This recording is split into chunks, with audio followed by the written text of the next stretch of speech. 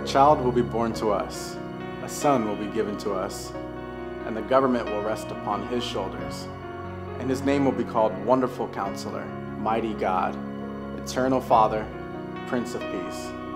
There will be no end to the increase of his government or of peace on the throne of David, and over his kingdom to establish it and uphold it with justice and righteousness from then on and forevermore.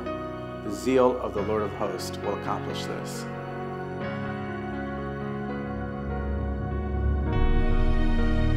God sent the angel Gabriel to Nazareth, a village in Galilee, to a virgin named Mary.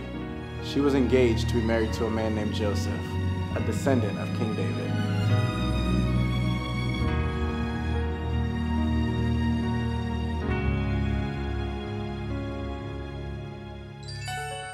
Gabriel appeared to her and said, Greetings, favored one, the Lord is with you. Confused and disturbed, Mary tried to think what the angel could mean. Don't be frightened, Mary, the angel told her. God has chosen to bless you. You will become pregnant and have a son, and you're to name him Jesus. He will be very great and will be called the Son of the Most High. But Mary asked the angel, How can I have a baby? I am a virgin. The angel replied, The Holy Spirit will come upon you, and the power of the Most High will overshadow you. So the baby born to you will be holy, and he will be called the Son of God.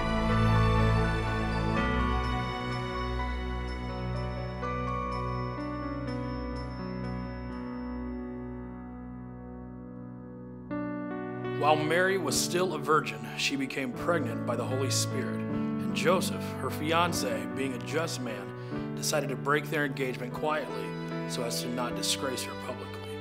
As he considered this, he fell asleep, and the angel of the Lord appeared to him in a dream. Joseph, son of David, the angel said, don't be afraid to go ahead with your marriage to Mary, for the child in her has been conceived by the Holy Spirit, and she will have a son, and you are to name him Jesus, for he will save his people from their sins. And all of this was to fulfill the Lord's message through his prophet Behold, the virgin will conceive a child, she will give birth to a son, and he will be called Emmanuel, meaning God with us. This prophecy from Isaiah 7:14 was given 700 years before Jesus was born.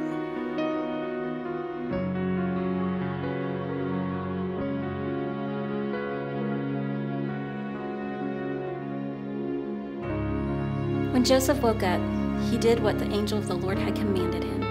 He brought Mary home to be his wife, but she remained a virgin until her son was born. And at the time, the Roman Emperor Augustus decreed that a census should be taken throughout the Roman Empire. All returned to their own towns to register for the census, and because Joseph was a descendant of King David, he had to go to Bethlehem in Judea, David's ancient home. He traveled from the village of Nazareth in Galilee and took with him Mary, his wife, who was great with child. And while they were there, the time came for her baby to be born. She gave birth to her first child, a son, and wrapped him in swaddling clothes and laid him in a manger. That night, there were shepherds in the fields outside of the village guarding their flocks of sheep. Suddenly, an angel of the Lord appeared among them, and the radiance of the Lord's glory surrounded them. They were terribly frightened, but the angel reassured them. Don't be afraid, he said. I bring you good news great joy for everyone. A Savior, yea, the Messiah, the Lord has been born tonight in Bethlehem in the city of David. And this is how you will recognize him. You will find a baby lying in a manger, wrapped in swaddling cloths.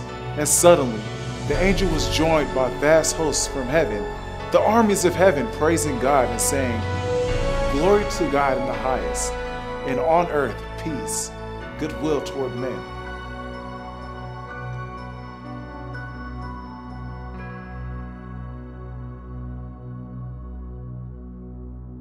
The angels left, and the shepherds said to each other, Come, let us go to Bethlehem and see this wonderful thing that has happened, which the Lord has told us about. So they ran to the village and they found Mary and Joseph, and there was the baby lying in the manger. The shepherds told everyone what had happened and what the angel had said to them about this child. All who heard their story were astonished, but Mary kept these things in her heart. The shepherds went back to their fields and flocks, glorifying and praising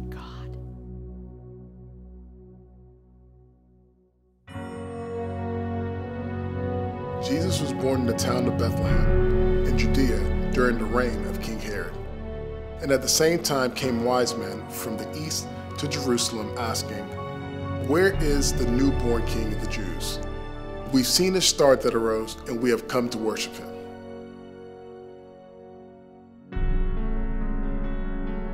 Herod was deeply disturbed by their question, as was all of Jerusalem. He called a meeting of the leading priests and teachers of religious law. Where do the prophets say the Messiah will be born? He asked. In Bethlehem, they said. For this is what the prophet wrote O Bethlehem of Judea, you are not just a lowly village of Judah, for a ruler will come to you who will be the shepherd for my people Israel.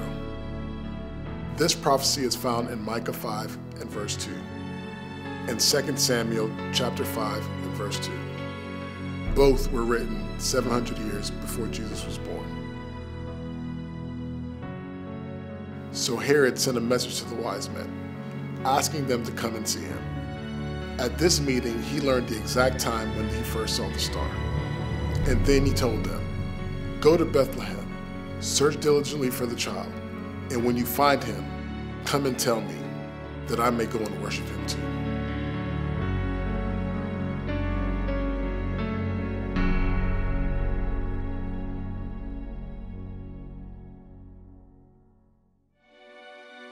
After this meeting, the wise men went on their way. And once again, the star appeared to them to guide them to Bethlehem, and went ahead of them and stopped over the place where the child was. When they saw the star, they were filled with joy. They entered the house where the child and his mother were. And they fell down and they worshipped him. And they opened their treasure chest and gave him gifts of gold, frankincense, and myrrh. But when it was time to leave, they went another way because God had warned them in a dream not to return to Herod.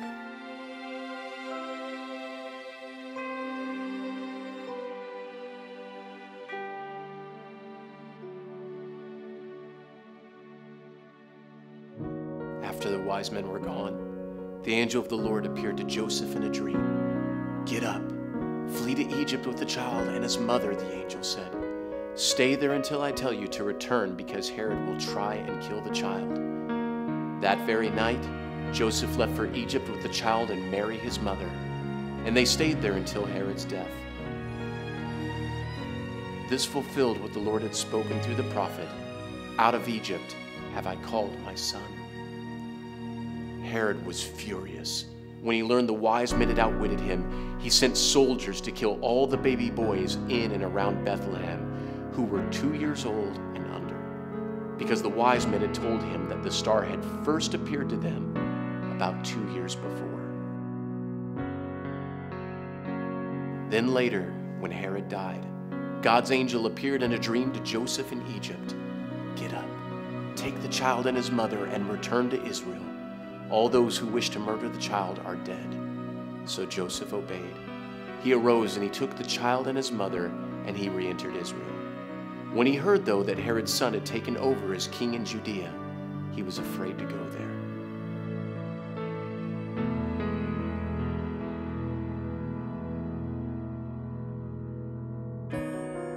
But then Joseph was directed in a dream to go to the hills of Galilee. On arriving, he settled in the village of Nazareth, fulfilling the words of the prophets He shall be called a Nazarene.